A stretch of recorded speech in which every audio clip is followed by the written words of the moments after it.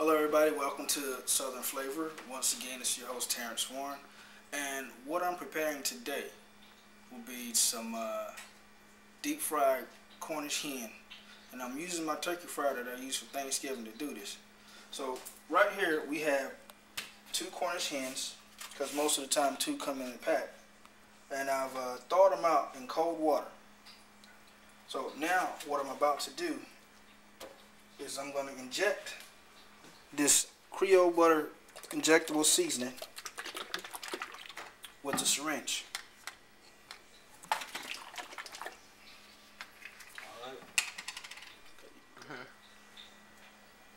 Okay, now we got some of the injectable butter inside the syringe. What we want to do is try to keep the syringe under the skin and inject it. And as you can see, it's filling up inside the hen. And you want to do this all over. Like so.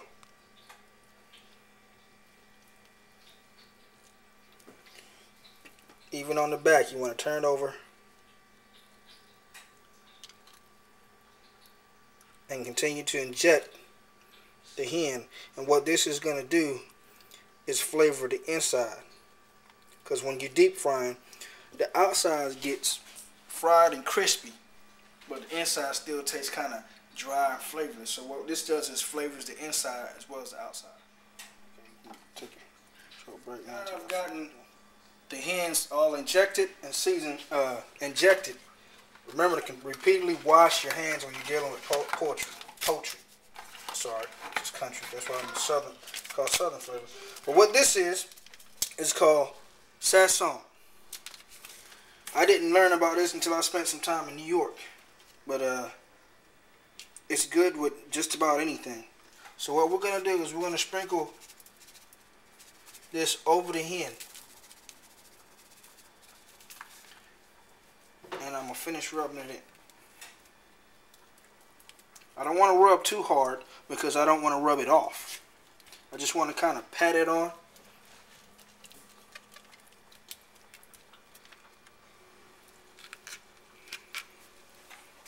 Alright.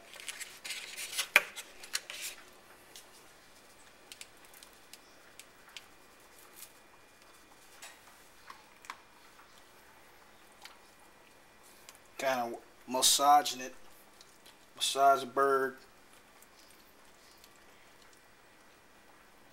Get it completely coated. Coated. Let me dumb it down for the people that think I sound... Oh, I'm not even going to go there, but... We're going to make sure it's completely covered.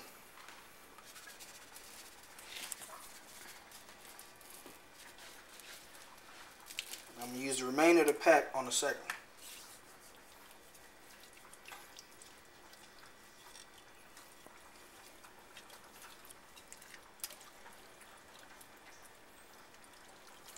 Okay, now that we got the hens injected with season and covered with sazón, we're going to let that sit for about 10 minutes. Just let it marinate just a few minutes.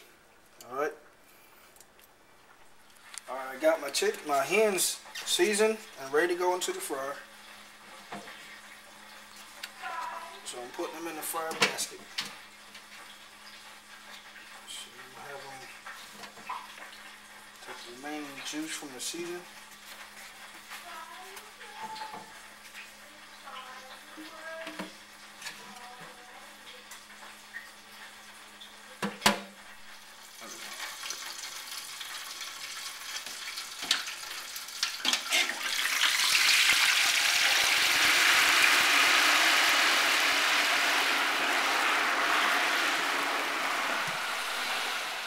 while we're waiting on the hens to cook, we're going to start on our vegetables. What I have here is uh, some mushrooms, some green onions, some sliced zucchini, minced garlic, and some more mixed vegetables. We got green beans, summer squash, and carrots. And what I'm going to do is make some stir-fried vegetables, you know. So what, I, what I'm going to do is first I'm going to add this zucchini to the already mixed vegetables. Kind of shake it out. Then I'm going to take my uh, green onions and slice them diagonal.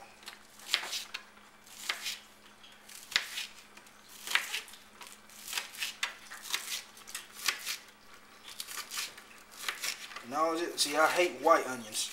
I hate any other kind of onion but green onion. And this is more for flavor anyway, not so much for taste. Because I also hate eating them. But the green onions give it a nice flavor and they're not so bad to eat if I happen to bite into one.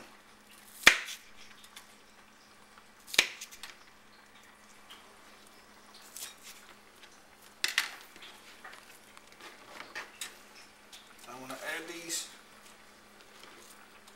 to the mix. I'm some uh, mushrooms. Toss it around. And now I'm going to add some uh, some peppers. I got green peppers, yellow peppers, and red peppers. I'm just to add them to the mix.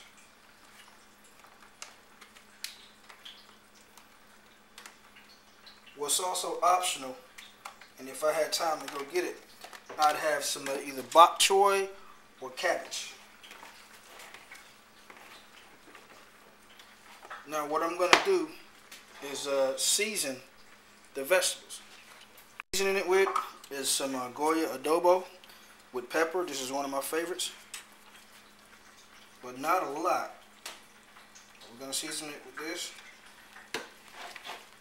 Mix it a little more. Some spicy garlic pepper in my grinder here.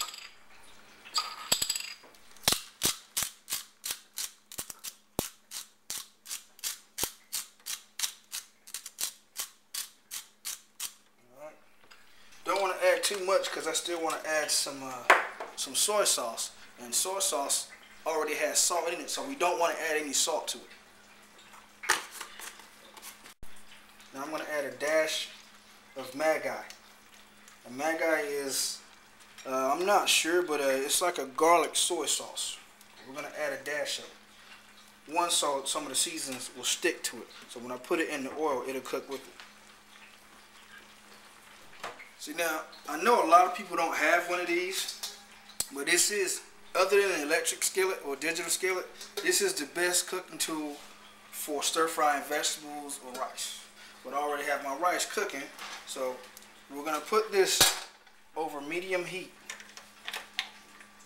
Medium high, medium heat, whatever, whichever. And and over that heat we're gonna add some olive oil just enough to cover the bottom of the pan. If we need more, we'll add more later. Okay, we got our oil on the wok burning. It's good and hot. And we're going to add the minced garlic.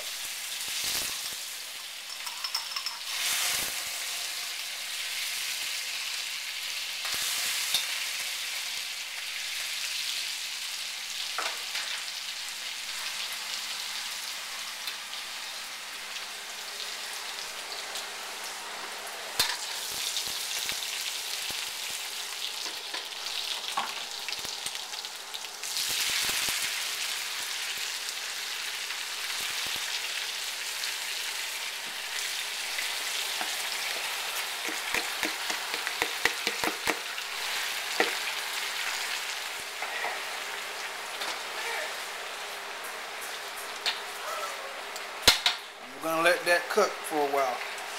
Occasionally stir it about every five minutes.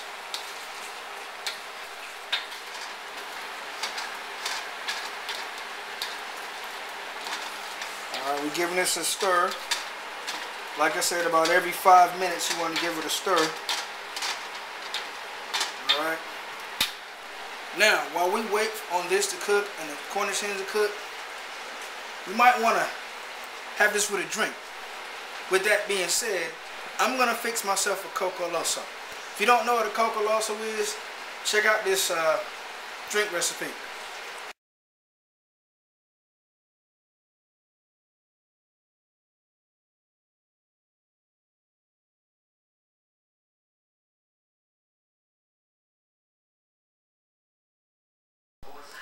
Welcome back, people. This is Terrence Warren, your author, entrepreneur, and the Southern Chef. This weekend, special shout out to Ciroc once again, we're going to be making uh, Coco Loso. What that will consist of is coconut Ciroc, pineapple juice, and also we got a cup with two ice cubes. So what we're going to do, we're going to add about an ounce and a half of coconut a cup of two cubes of ice. I've already poured an ounce and a half of coconut Ciroc in here. Next, this whole can, this is a small can of pineapple juice. Now we're going to add it. Now to cut down on the bite just a little bit, you can, it's optional, and about a half ounce of lemon concentrate.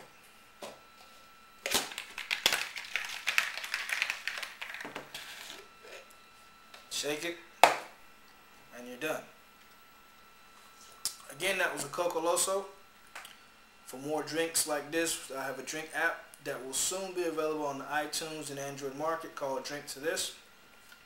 Enjoy your weekend. It's been about 20 minutes, so now I'm getting ready to take our hands out of the fryer and let, let the remaining oil drain.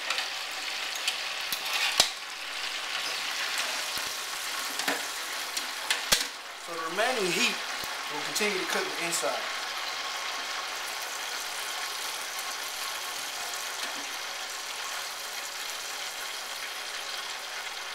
Here's how they look outside out of the fryer.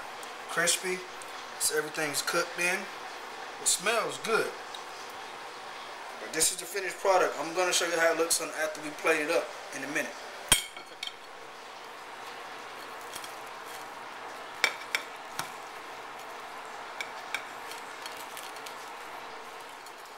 Here's the dish.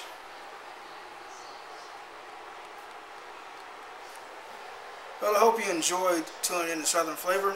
I'll have more videos to come in the future. So uh, just keep checking back. Stay tuned. Thanks for watching.